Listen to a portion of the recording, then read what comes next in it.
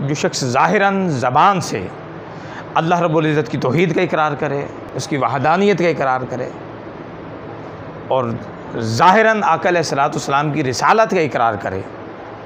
मगर बातिन उसका इस चीज़ को कबूल ना करे तो उसे मुनाफिक कहा जाता है।